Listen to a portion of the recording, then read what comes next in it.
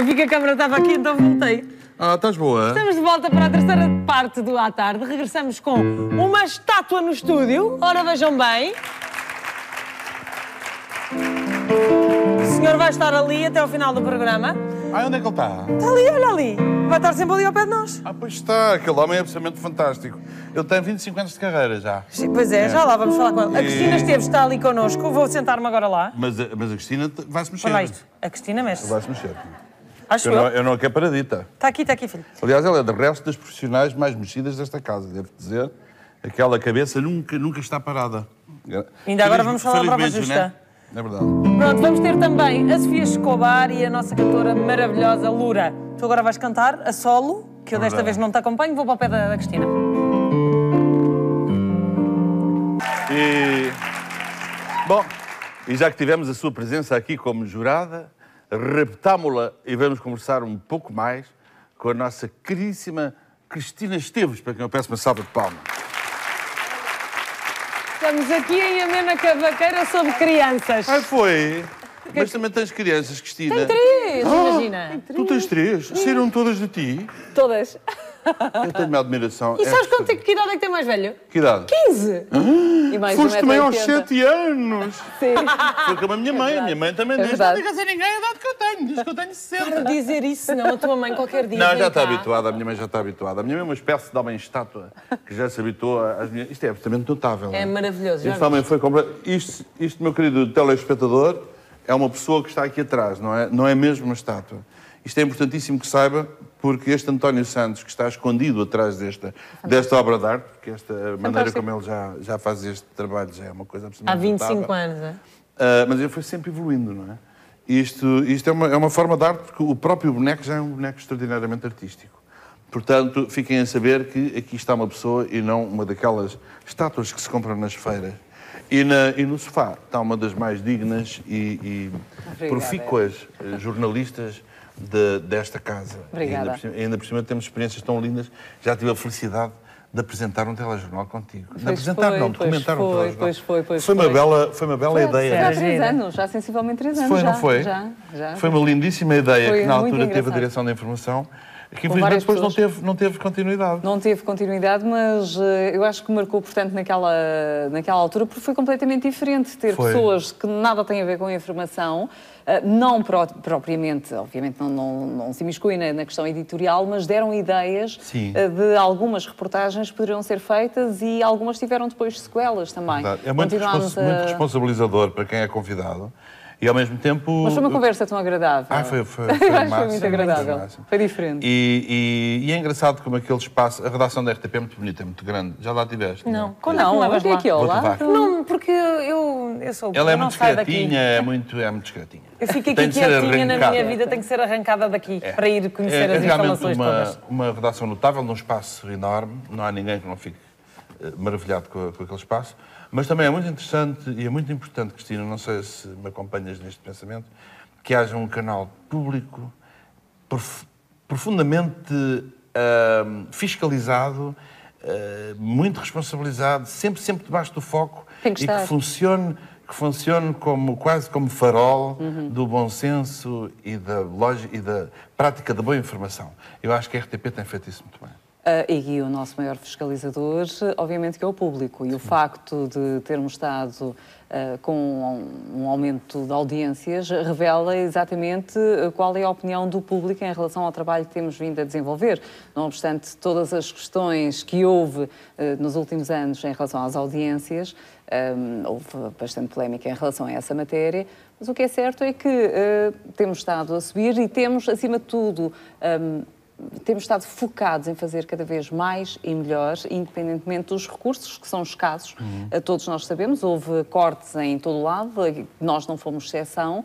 Hum, e as pessoas, como se costuma dizer, dão um litro para conseguir pôr os produtos no ar com a qualidade, ah, em não defraudar as expectativas dos espectadores, que é isso que, que nós tentamos sempre fazer todos os dias ali na, naquela redação e em todo, ah, ao fim e ao cabo, em toda a RTP, em toda esta, esta estrutura. A RTP na área da Informação sofreu, sofreu, sofreu agora uma, um, Teve um agora facelift.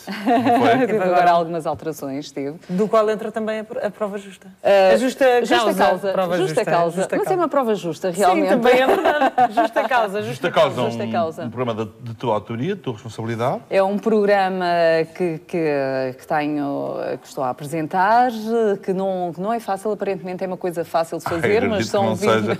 são 20 É minutos. diário, não É é? diário. E depois não é só isso. São A 20 minutos. Justiça, É sobre a justiça. eh, em Portugal é uma, é uma espécie de floresta virgem que contém tudo. É, Eh, contém tudo, Ótimas árvores, ervas daninhas, tem que eh, fungos cuidado. assassinos, não é? É. Não tens um bocado essa cogumelos. noção? Uh, um mas tem bocado que ser, essa acima de tudo, é, um, te- temos que, que nos uh, centralizar naquilo que é importante e, e, uh, sendo nós RTP, uh, temos que também centrar a- atenções em tentar explicar às pessoas o que é que dali poderá vir. Não numa linguagem demasiadamente fácil, porque também não se pretende isso. Um, eu acho que também uh, o facto de ter a formação jurídica, por um lado, ajuda, mas por, por vezes também desajuda porque complica um bocadinho as Complicas? complica as coisas e de repente utilizo linguagem que se calhar não, não deveria utilizar porque Pois. aquilo sai, principalmente estando com, com colegas, não é? com, com alguns foram meus colegas eh, de curso, outros meus professores, é engraçado ali Pois quando eu fazia advogada. Tu Eh, fizeste jurista, o curso. jurista, fiz o Jurista, curso. fizeste o curso. Fiz o curso na, na clássica e é muito engraçado quando andava na Porquê é que ratificaste para jurista? Porque não exerço.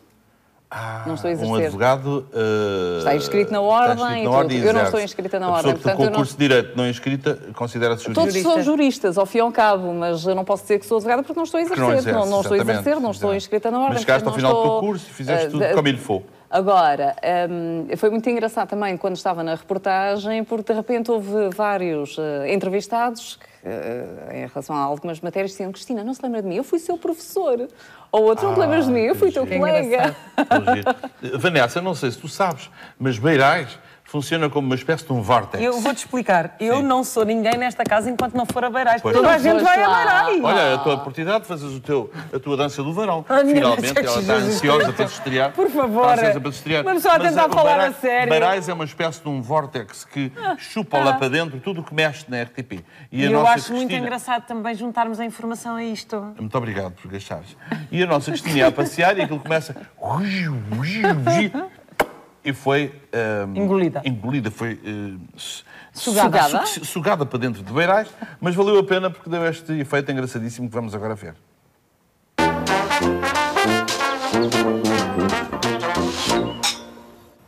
Estamos prontos? Boa tarde, estamos aqui em Beirais, a aldeia que foi o centro das atenções do país nos últimos tempos por causa do aparecimento de petróleo.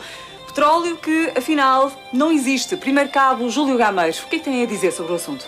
Ah, bem, na verdade é que sempre soubemos que não era petróleo verdadeiro. Não é verdade, Guarda Vitor? Uh, efetivamente, o primeiro cabo fala a verdade, uh, até porque a nós não nos escapa nada. Então como é que justificam todas as patrulhas e todo o aparato à volta do petróleo? São procedimentos naturais de uma operação técnico-militar. Nós ensinam-nos que o bandido volta sempre ao local do crime e, nesse caso, limitámos-nos a patrulhar o local para apanhar os criminosos. Infelizmente, eh, parece que dois energúmenos eh, destruíram as provas antes que eh, nós apanhássemos os meliantes. Bem, em todo caso, não há dúvida. Trata-se de uma cisterna e não de um poço. Isto para nós, o caso está arrumado. Senhor Presidente, agora que já se sabe que não há petróleo, não receia que Beirais se transforme numa andota nacional? Beirais uma andota? Não, não, não, não, não. Nunca, nunca. Nós podemos não ter petróleo, mas temos muitas outras belezas únicas. Está a deitar fora as suas botas texanas. Eu sempre fui adepto do produto nacional. Quem é que quer ter umas botas texanas quando pode ter umas belas botas de prateleira, não é? Eu amo o produto nacional. Votem Agostinho Puga. Gostaste? Foi é, divertidíssimo, foi muito divertido. E as minhas filhas fartaram-se de gozar com aquela minha expressão final, porque não é normal. Isto também é um bocadinho a forma de sair de- Do registro normal, registro não é? normal. Aquilo Sim, é outro registro. Ter um pescar de olho para perceber, atenção, que isto é, é uma alter ego aqui a funcionar. Exatamente. Ah, Mas é interessante que de vez em quando também se sacralize aquela coisa da informação, o facto de eu ter ido ao telejornal, mas também o facto de repente um profissional da informação ir fazer uma brincadeira destas, acho que é útil para. Eu acho que sim, porque acima de tudo não se deve também formalizar demasiadamente, Sim. quer as pessoas, quer, quer, todas as questões. Antigamente era um bocado, quem estava na informação tinha que ser muito sério. acho que tem que tinha haver- sempre com ar, acho que não- andar com ar muito triste. muito Acho que não se perde a credibilidade. A credibilidade perde-se com outras, eh, com outras Sim. situações. Não é com isto. Hum, aqui não, eu acho que, aliás, as redes sociais cada vez mais têm um papel mais preponderante. De vez em quando nós fazemos uns likes um ao outro, não é, Herman? Porque hum, aproxima-nos das pessoas. Sim. Nós somos pessoas normalíssimas, portanto, nós também gostamos de, de fazer este tipo de brincadeiras, porque é outra coisa paralela à profissão. Também estamos lá por causa da profissão que desempenhamos, também é um facto, Claro. não é? Mas hum, aproxima-nos das pessoas e torna-nos. hum, muito mais humanos, Humanos. não é? Sim. Hum, Quer dizer, porque não somos iguais a, todos, a todas as outras pessoas, temos, os- temos os nossos desvarios de vez em quando, de vez em quando também estamos muito bem, outras vezes estamos muito mal, ah, e por vezes parece que estamos muito, bem, com um grande sorriso, mas por dentro poderemos não estar. As pessoas normais e isto não, não descredibiliza ninguém a fazer este tipo de, de coisas. Aliás, é um enorme gozo. Sim, Aliás, eu devo dizer que uma das, coisas, uma das coisas que eu tenho pena que não se utilizem, que não se, não se pratica muito em Portugal, é aquela lógica muito americana de valorizar o- a passagem do tempo do jornalista. Ou seja, há tipos de trabalhos que não se entregam a miúdas como tu. Na América. Uh, tem de ser Barbara Walters Sim, com sim. 50 ou 60 anos de Sim. carreira e talvez 70 ou 80 de vida. Eu acho piada esse conceito.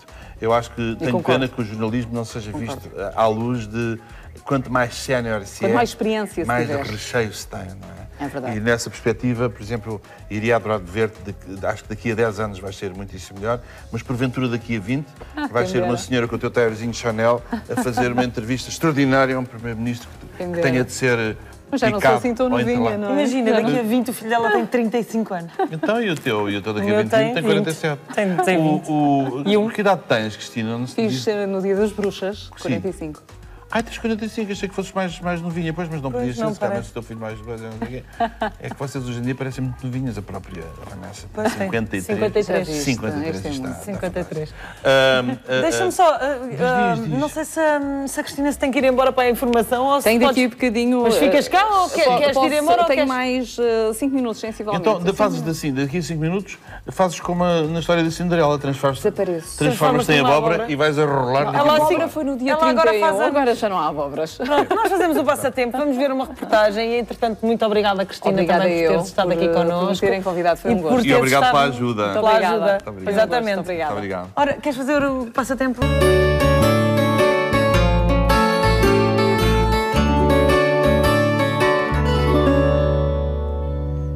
Hoje a figura pública é especialmente avassaladora Especialmente. e a fadista é, é só do melhor que se pode ter. Do melhorzinho. 0 a 10 vale 15. Pois vale. A vossa salva de palmas para o José Gonçalves, que vem acompanhado da Maria da Fé e da Cristina Esteves.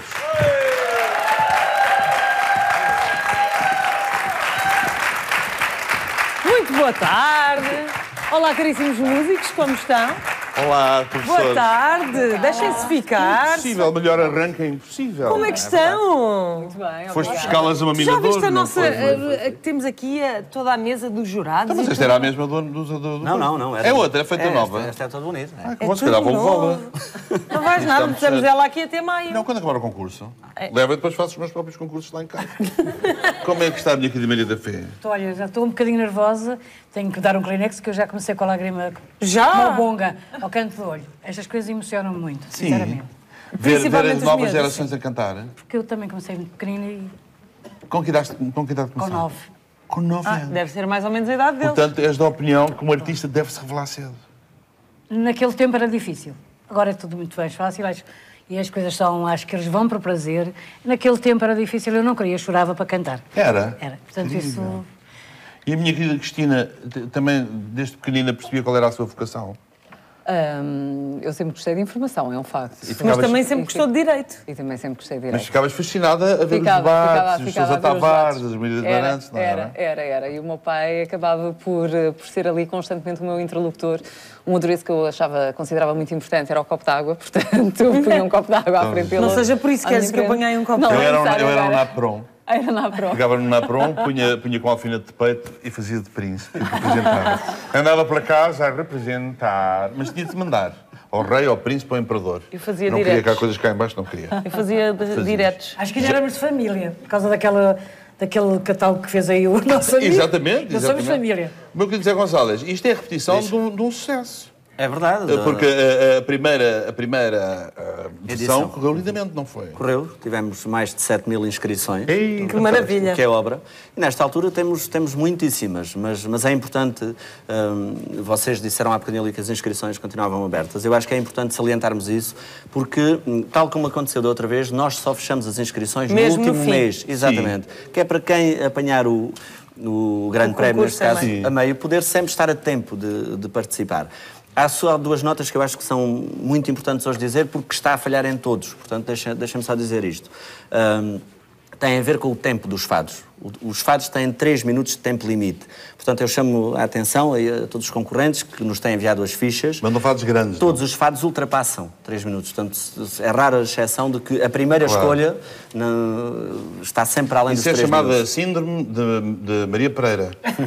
Que é isso que é? A Maria Pereira era a mulher do senhor da Robilac. Quando ia cantar, cantava sempre 48 fados. Não era a Maria da Fé. 30, 30. 30, 30. Estou a exagerar. Coitadinha da senhora. Eram espetáculos de 4 Ela horas. cantava bem. Cantava lindamente. E, e É, as mas a pessoas- outra nota. Ah, dias. Diz, diz. Não, ia-te dar a outra Qual nota, era a porque é outra importante. Eles estão cá hoje, portanto, os nossos guitarristas eh, residentes são o Guilherme Banza e o Rogério Ferreira. Uma salva de palmas para eles. Vão estar aqui até maio, não é? Vamos lá ver se Porquê, sobrevivem. porquê é que eu disse isto? Porque exatamente me, me têm mandado nas inscrições ou me perguntam por e-mail se, se podem trazer os seus guitarristas. Nós entendemos que, em função da experiência que tivemos da outra Uhum. vez, funciona bem melhor tendo dois guitarristas, neste caso, do, do mais talentoso exatamente. exatamente, que temos. Portanto, estão todos em igualdade de circunstâncias. Sempre E na outra edição lembro que havia um outro guitarrista que era mais bandolineiro. Não tocavam lá muito bem. Eram boas pessoas, mas muito bandolineiras. Muito bem. Então podemos começar a chamar Quando quiser. o primeiro. Sim, nós vamos sentar ali. Ah, não, eles estão ali, como é que a Não, gente- agora vais tu para lá e veio o primeiro menino para cá Ah, e eu então eu entrevisto. vou-me embora, vou embora Vai. assim como se não fosse. Não é E eu verdade? chamo ali aquele primeiro menino. Até Já, façam de conta que eu... Olha a gravata dele, está a giro. Eh, a palavra agora é do júri, claro. Olá, Rodrigo. O que é que queres ser quando fores grande? Quando fores maior? Ah, quando for maior, quero ser, eh, quero ser eh, médico e cantar Boa. fado em casas de alfama. Muito bem, muito bem. Médico que cantas ao mesmo tempo? Sim. Pá, isso é bestial. E tens coragem para tirar um curso de medicina? Isso Vou é preciso estudar muito, é muito Isso complicado. Mas consegue-se fazer as coisas, não é? Quando se gosta. Fantástico. Olha, eu acho que tiveste. Esta não é a minha área, como tu sabes, é mais eh, informação, fazer assim umas entrevistas. Mas sabes que não é fácil, mesmo para nós, muitas vezes, estarmos perante situações às quais não estamos habituados, nomeadamente estar num palco. Não é fácil, não é fácil estar aqui ao pé destas pessoas todas. Ahm, e tu tiveste, estiveste muito bem, tiveste uma ótima presença em palco. Ahm, por aquilo que me apercebi, não saíste do tom. Acho que deves. tens um timbre muito bonito, muito suave. Hum, não, não tentaste ser parecido com ninguém, não. Tentaste ser apenas o Rodrigo, que é muito bonito. Dou-te os parabéns, não desistas. Ai, sempre em frente. Obrigada.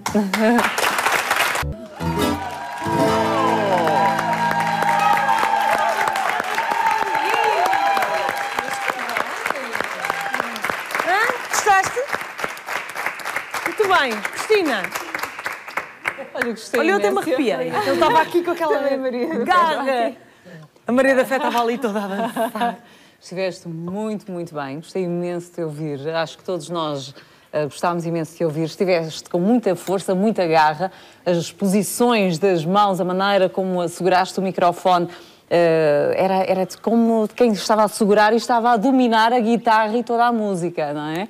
Gostei muito de ouvir, muitos parabéns. E não te perguntei a ti também, o que é que queres ser quando fores um bocadinho maior? ah, pois, pois, claro. Maria da Parabéns. Então, o que é que vos é dado dizer sobre esta nossa querida concorrente?